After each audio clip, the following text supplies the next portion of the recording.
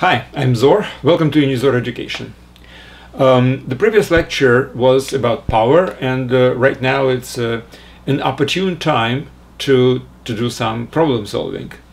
So I have three problems here, all about the power.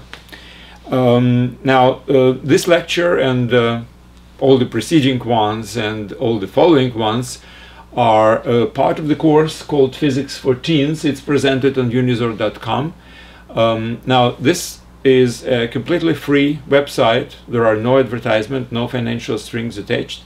And I do suggest you to watch this lecture and everything else from the website because it's presented in a logical course order.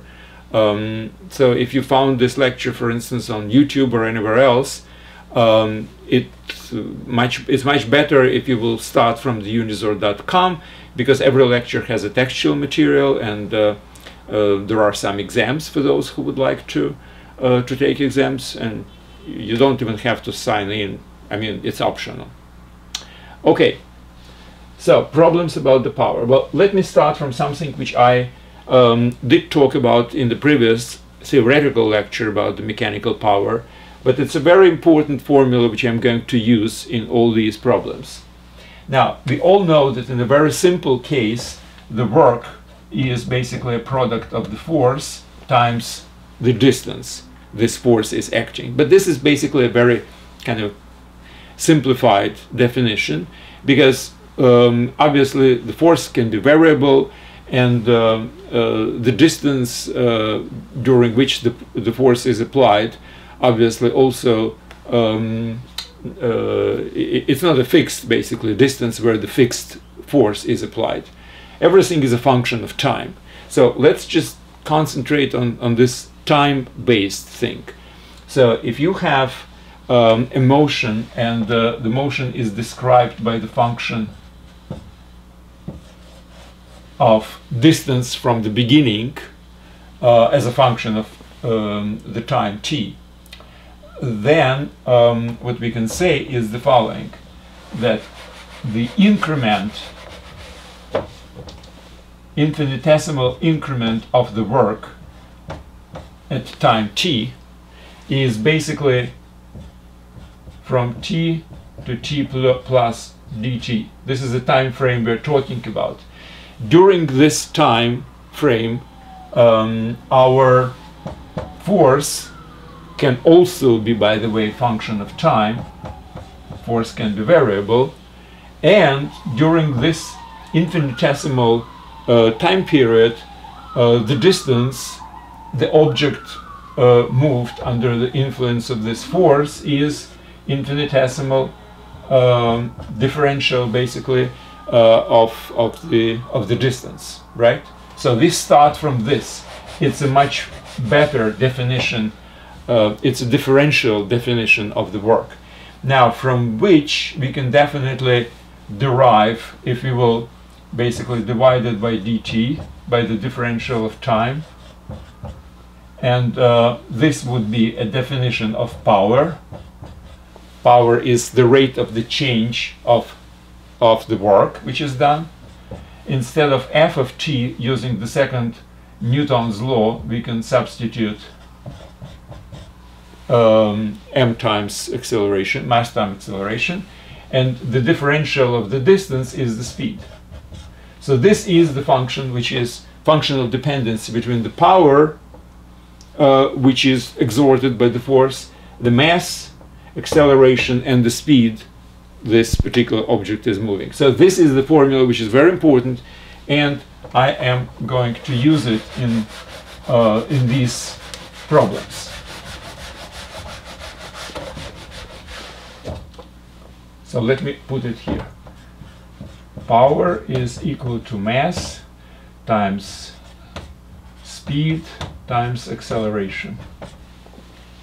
Okay, now, problem number one. We have a car. I mean, all prob problems about the cars. Now, it has mass m. And I know that during the time t,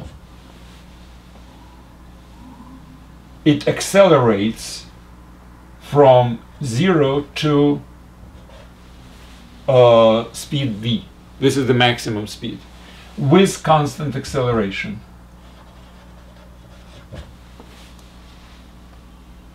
So I have two problems here. What's the power as a function of time? Now the A is constant. Power might or might not be constant in this case. We will find out actually what is the power to basically assure the constant acceleration. Power will not be constant. So what's the power as a function of time? And uh, I would also like to know, um, to relate it to the power, usually the speed of the burning of the fuel in a car is kind of proportional to the power. So if I will know how the power behaves, I will have to basically make a judgment about what will my, what will be my fuel consumption as the time goes by. This is the not the quantitative; it's a qualitative um, uh, now, so how can I approach this? So first of all, if I know that the a is a constant and I know that during the time t my car accelerates from 0 to v, I can definitely come up with what is the acceleration. Uh, sorry, it's capital T and this is constant, as I'm saying. Now, knowing the acceleration, and I know that this is a constant in this case, I know the force. Also constant. Right? Now, again, knowing acceleration, and acceleration is constant, I know the formula for the distance covered it's basically a t square over 2 as a function of time. So now, since I know the acceleration, I know the distance as a function of time. This is a simple formula from kinematics. And so the speed as a function of time, I should probably put max here, that would be better. Now, speed as a function of time, if the constant acceleration is basically a times t, right? So it's v max over t times t, right? So I know my uh, force, I know my acceleration, I know my speed, from which I can derive the power using this formula. Mass times speed, which is Vmax over T and time, and time times acceleration times Vmax over T.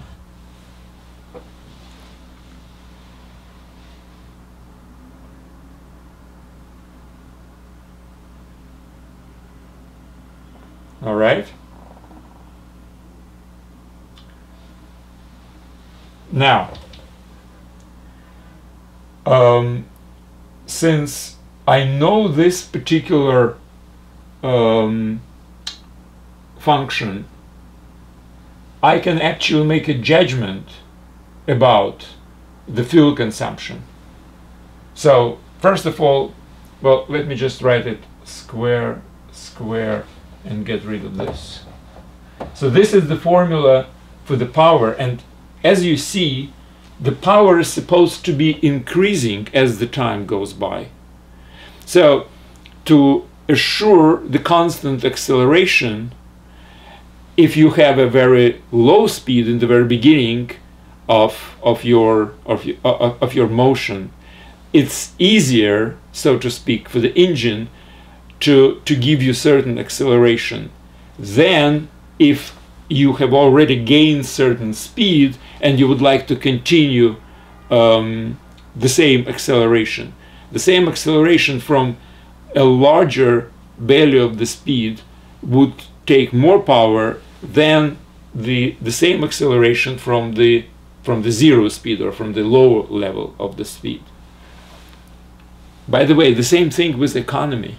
If economy is in a very poor shape, in the very beginning, so to speak, of development, it's much easier to accelerate it uh, than if it's already developed economy and you would like to continue acceleration of the same level, like I know, 4% a year, for instance. 4% a year, is easier if the economy is a very small one. But if the economy is a very developed one, it's much more difficult to achieve the same 4% a year. Because 4% of economy growth is exactly the same as acceleration um, in, uh, in the car. And now, speaking about fuel consumption, since the power is increasing as the time goes by, fuel consumption also should increase. So the rate of the fuel consumption per unit of time, let's say, is greater and greater if you would like to maintain the same acceleration with increased um, speed. So that's my first problem. The second one is basically much similar to this one. I'm just um, giving you different uh, initial data Now what is in this case is I do have again the car and I have its mass. Now my power is constant.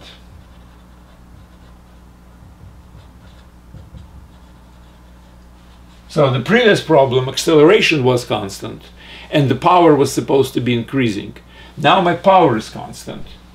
And I have to find out what are my speed, and my acceleration. And in particular, is acceleration constant? And, which is the same thing, is my uh, speed linearly increasing, which means acceleration is constant. Well, let's see. The answer to both questions is no, but let's just derive it the way how we are supposed to derive it. Again, I'm using this formula.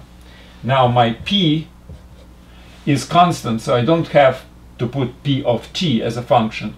I'm just putting p. And this is equal to m v of t. And instead of a of t, I will put d v of t by dt. Since acceleration is the first derivative of the speed, I can do that, right? Well, now, what is this? This is a differential equation. And again, we did actually talk about these very, very simple differential equations um, in the course of mathematics, which precedes this course, Physics for Teens. On the same website, there is a Math for Teens. So differential equations and calculus are very, very important for physics. So this is one of those cases, but in this case, it's uh, so simple that I can actually just do it right now. But I will do, I will multiply everything by this infinitesimal uh, increment of the time and I have a differential here and I have a differential here. Now, what is this? Well, if I will integrate this, this is actually a derivative of p times t, right? So if I will integrate it from 0 to t, I will get this. And if I, if I will integrate this from 0 to t, integral from 0 to t integral 0 to t. What happens? Now, what is this? Well, m is just multiplier. This is a differential of v square uh, divided by 2. So if I will integrate it, I will get this.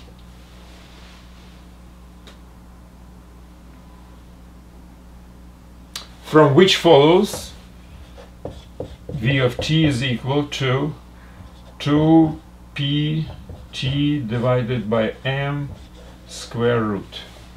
This is my function speed as the function of the time t. In the beginning, obviously, speed is zero. p is a constant. We apply the constant power, but the speed is not growing linearly. So it's not a linear speed, it's a square root of time. So the speed is the rate of speed, which is acceleration, um, is diminishing as the time goes by. If it was linear, the speed would be linear and it will be the same. But in this particular case, it's a square root of time. So the graph would be like this. And incidentally, a of t, which is a derivative from this, which is what? Uh, so square root of 2p times m is just a multiplier.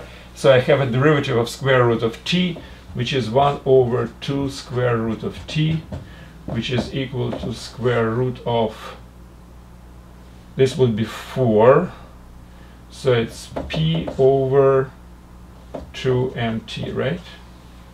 Let me check. Yes. And again, it's not a constant. So acceleration is not constant. If your power is constant, acceleration is diminishing as the time goes by. In the beginning, when, t is, when, when time t is small, it, it's rather large, but as the time goes by, this is denominator, it's increasing, so my acceleration is decreasing. If you have a constant power, you started the car, for instance, you have a acceleration um, relatively you, you feel acceleration if you're just starting the movement right? But as you move forward and forward if you keep the gas at the same level so the power of the engine will be at the same level you will reach certain plateau and your uh, increase of the speed will be really diminishing. And then obviously you will have a resistance of the air and, and the friction etc which would completely put a plateau on your speed so that's my second problem.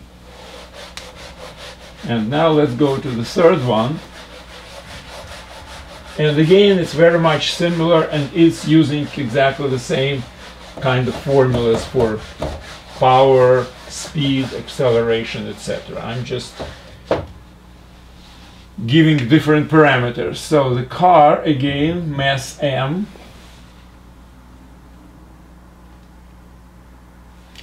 power is constant and what I'm interested is how soon I will achieve certain speed which I'm calling Vmax. So how much time it will take for me to reach uh, let's call it Tmax. How much time it will take under these conditions to reach this speed. Well, actually this is uh, the problem which we basically solved because let me just remind remind the previous problem we had. We have come up with this equation, if you remember. Um, v square of t divided by 2 from which we have derived what is the speed as a function of time. In this case we have a completely reverse thing. We know the speed. This speed is supposed to be Vmax and we are asking about the time. So what I'm doing is right now I'm just resolving this equation uh, for time.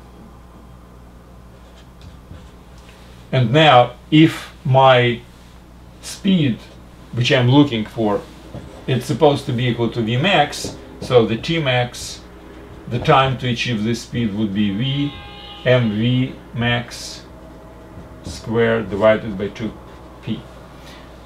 So again, qualitatively, obviously, if your power is greater, this is denominator, your time to achieve this speed would be smaller, shorter, right? Another thing is the more massive the car is, the more difficult it is to uh, accelerate it to this particular speed. And that's why with increased mass, the time to achieve this speed would also be um, increasing with the constant power. So that basically corresponds to all the qualitative analysis. Okay, so what I'm suggesting you right now is to go to unizor.com, open this lecture, and um, just try to solve all these problems yourself. I think it's a very useful exercise. Check against the answers uh, which are provided on the website. Um, and that basically it. I mean, that would complete my, well, introductory um, lectures about the power. And uh, that basically completes my um, part of the course, which I called mechanics. Um, now the next part is related to, well, partially it's related to mechanics, but I call it energy. And the energy is not only mechanical energy, obviously there are some other aspects of the energy, but that would be the continuation, that would be the next part of the course. Mechanics is more or less finished. So thank you very much and good luck.